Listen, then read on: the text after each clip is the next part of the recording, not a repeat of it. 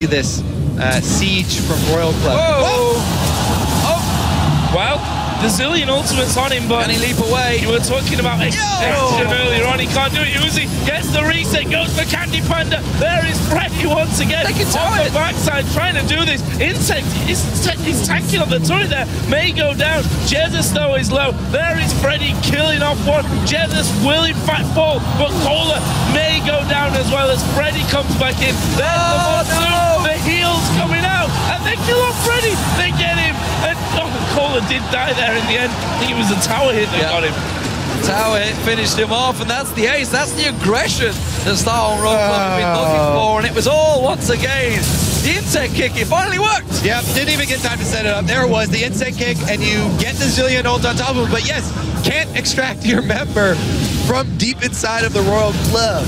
Here he goes. This time, pulls off the flash to ensure the kick.